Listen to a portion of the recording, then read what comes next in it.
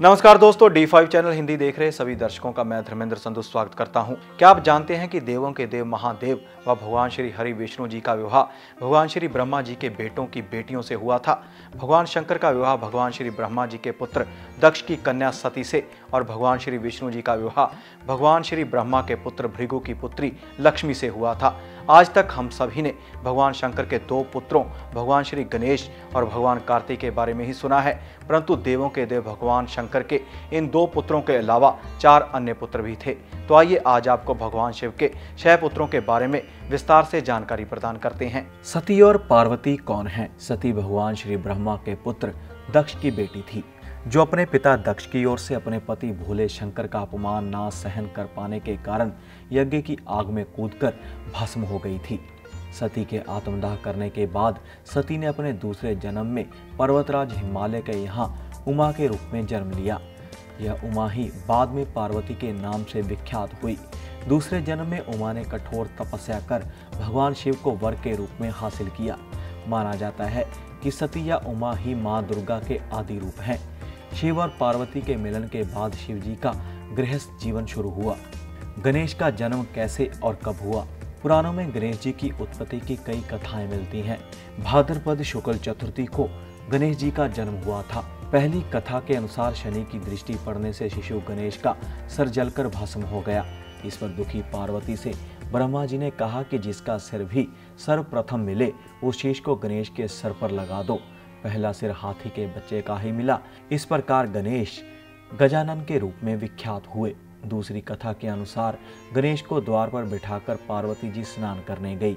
इतने में भगवान शिव आए और पार्वती के भवन में प्रवेश करने लगे।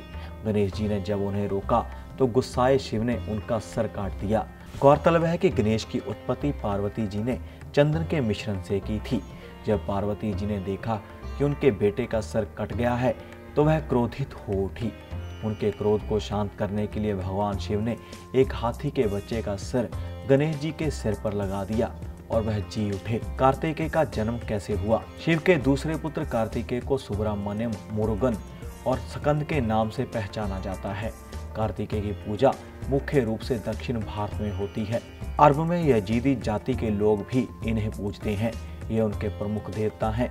उत्तरी ध्रुव के निकटवर्ती प्रदेश उत्तर कुरु के क्षेत्र में भी इन्होंने स्कंद नाम से शासन किया था। इनके नाम पर ही स्कंद पुराण की रचना हुई। कार्तिकेय की जन्म कथा भी विचित्र है। कथा के अनुसार जब पिता दक्ष के यज्ञ में भगवान शिव की पत्नी सती कूदकर भस्म हो गई, तब भगवान शिव विलाप करते हुए गहरी तपस्या में लीन हो गए। उनके ऐसा करने से सृष्टि शक्तिहीन होने लगी। इस मौके का फ़ायदा दैत्यों ने उठाया। धरती पर तारकासुर नामक दैत्य का चारों ओर आतंक फैल गया। ऐसे में देवताओं को पराजय का सामना करना पड़ा। चारों तरफ़ हाहाकार मच गई। तब सभी देवताओं ने भगवान ब्रह्मा जी से प्रार्थना की। तब ब्रह्मा जी ने कहा कि इस असुर का अंत शिव पुत्र करेगा। इंद्र और अन्य देव भगवान शिव के पास गए। तब भगवान शंकर पार्वती के अपने प्रति अनुराग की परीक्षा लेते हैं। और पार्वती की तपस्या से प्रसन्न होते हैं। आखिर शुभ घड़ी और शुभ मुहूर्त में शिवजी और पार्वती का विवाह हुआ। इस प्रकार कार्तिकेय का जन्म हुआ। जन्म लेने के बाद कार्तिकेय ने तारकासुर का वध किया। पुराणों के अनुसार षष्ठी तिथि को कार्तिकेय भगवान का जन्म हुआ था। इसीलिए इस दिन उनकी पूजा का विशेष महत्व है। दूसरी कथा के अनुसार कार्तिकेय का जन्म छह अप्सराओं के छह अलग अलग गर्भों से हुआ था। फिर वैसे अलग अलग शरीर एक ही में विलीन हो गए जो कार्तिकेय के नाम से पहचाने गए। सुकेश थे भगवान शिव के तीसरे पुत्र। भगवान शिव के तीसरे पुत्र का नाम सुकेश था। राक्षसों का प्रतिनिधित्व दो लोगों हेती और परहेती को सौंपा गया था। ये दोनों सगे भाई थे। ये दोनों भी दैत्यों के प्रतिनिधि मधु और कैटव के समान ही बलशाली और पराक्रमी थे। पर हेती धर्मात्मा था तो हेती को राजपाट और राजनीति में ज़्यादा रुचि थी। राक्षस राज हेती ने अपने साम्राज्य विस्तार हेतु काल की पुत्री भया से विवाह किया। भया से विद्युत केश नामक पुत्र का जन्म हुआ। विद्युत केश का विवाह संध्या की पुत्री साल कंटकटा से हुआ। माना जाता है कि साल कंटकटा वह विचारनी थी। इस कारण जब उसका पुत्र जन्मा तो उसे लावारिस छोड़ दिया गया। विद्युत केश ने भी उस पुत्र की यह जानकर कोई प्रवाह नहीं की, यह नाम मालूम किसका पुत्र है। पुराणों के अनुसार भगवान शिव और माँ पार्वती की इस अनाथ बालक पर नज़र पड़ी और उन्होंने उसको सुरक्षा प्रदान की। इसका नाम उन्होंने सुकेश रखा। सुकेश का गंधर्व कन्या देववती से विवाह किया। देववती से सुकेश के तीन पुत्र माल्यवान सुमाली और माली हुए। इन तीनों के कारण ही राक्षस जाति को विस्तार और प्रसिद्धि प्राप्त हुई। शंखचूड़ जालंधर थे भगवान शिव के चौथे पुत्र। शंखचूड़ जालंधर को भगवान शिव का चौथा पुत्र माना गया है। जालंधर भगवान शिव के ही सबसे बड़े दुश्मन थे।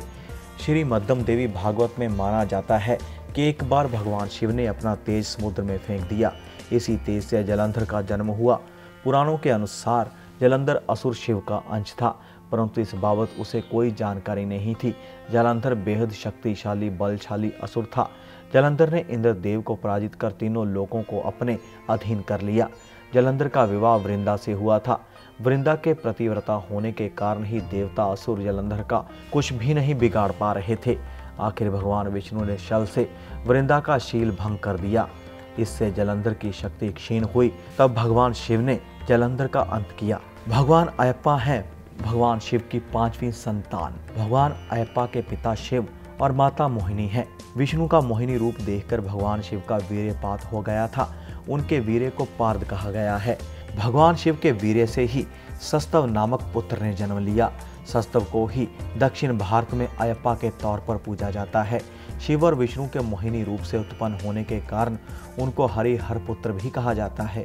गौरतलब है कि केरल में शबरीमाला में अयप्पा स्वामी का प्रसिद्ध मंदिर है।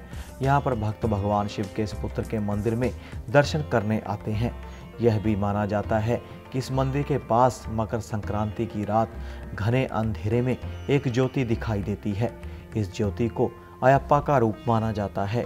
भगवान शिव के पसीने से प्रकट हुए भौम कैलाश पर्वत पर देवों के देव भगवान शिव समाधि में लीन थे। इसी दौरान उनके मस्तक से तीन पसीने की बूंदें पृथ्वी पर गिरी। इन बूंदों से पृथ्वी ने एक सुंदर और प्यारे बालक को जन्म दिया, जिसके चार भुजाएँ थी। इसका रंग लाल था। इस पुत्र को पृथ्वी ने अपनी संतान के रूप में पाला। भूमि पुत्र होने के कारण इन्हें भौम कहा जाता है। भौम बड़ा होकर काशी पहुँचा। वहाँ उसने भगवान शिव की कड़ी तपस्या की। तब भगवान शिव ने प्रसन्न होकर उसे मंगल लोक प्रदान किया। तो दोस्तों, ये थी भगवान शिव के पुत्रों से जुड़ी जानकारी। ऐसी ही जानकारी लेकर फिर हाजिर होंगे। जुड़े रहिए डी फाइव चैनल हिंदी के साथ।